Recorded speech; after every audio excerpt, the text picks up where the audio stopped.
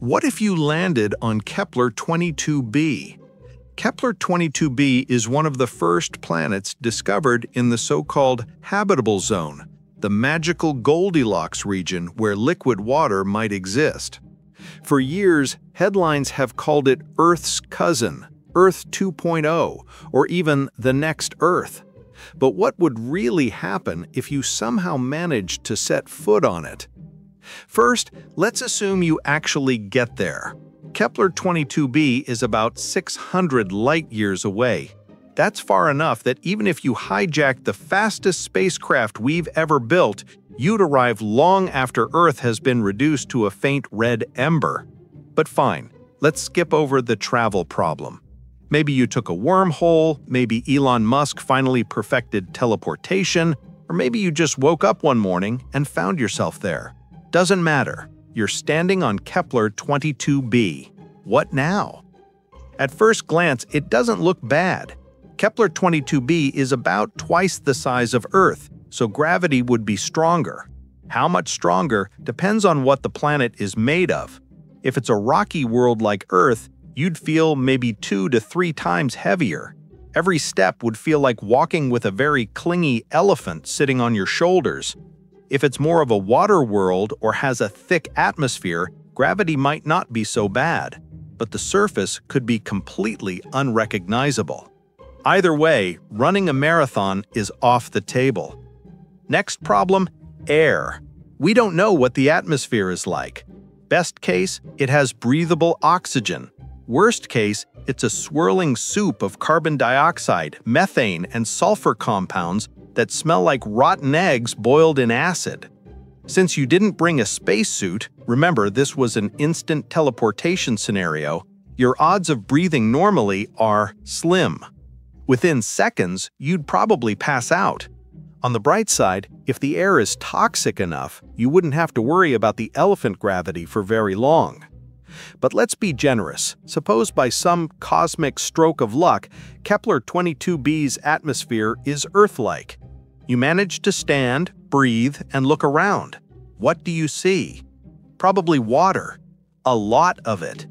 Many astronomers think Kepler 22b might be an ocean planet, with no continents at all. So congratulations, you've landed in the middle of a planetary swimming pool 15,000 kilometers wide. There are no lifeguards on duty. You might try to swim to shore, but there isn't one. Ever. You'll die doing laps.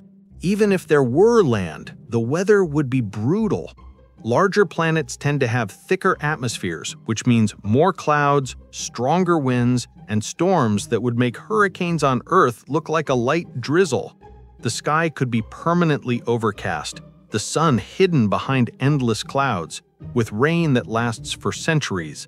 Your raincoat isn't gonna cut it. The real killer, though, is temperature. Kepler 22b orbits its star in the habitable zone, which sounds cozy. But habitable is misleading. It just means the planet gets the right amount of sunlight for liquid water, not that it's actually comfortable for humans. Without knowing the greenhouse effect from the atmosphere, the surface could be a frozen wasteland or a boiling sauna. Either way, not exactly a vacation spot. Let's imagine for a moment that conditions are miraculously perfect. Gravity is tolerable, the air is breathable, there's land to stand on, and the climate is pleasant. Congratulations, you are now the sole inhabitant of a pristine alien world. Unfortunately, you are also extremely alone. No farms, no infrastructure, no Wi-Fi, and no other humans. That feeling of Earth 2.0 wears off quickly when you realize there's no pizza delivery, no power grid, and nobody to complain about the weather. Within days, hunger and thirst become your main problems. Within weeks, you'll either be dead or inventing the saddest Robinson Crusoe reboot in history. And then there's the possibility you're not alone. If life exists on Kepler 22b, it almost certainly doesn't look like anything on Earth. It could be microscopic plankton floating in the endless ocean, or towering gelatinous creatures with bioluminescent teeth. Whether they're harmless or very, very not is anyone's guess. If they are intelligent, you may be their first alien encounter. Hopefully they like you. Hopefully they don't see you as a snack. In the end, what happens if you land on Kepler-22b? Best case, you suffocate, drown, starve, or get crushed by gravity. Worst case, you survive long enough to be eaten by something with way too many eyes. And most importantly, despite all the hype, Kepler-22b is not Earth's twin.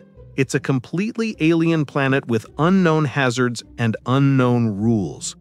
So if one day you wake up on Kepler-22b, here's my advice. Enjoy the view while you can, because your trip will be short, your Instagram will have no signal, and the only thing Earth-like about your experience will be how quickly it ends. Let's not try that again.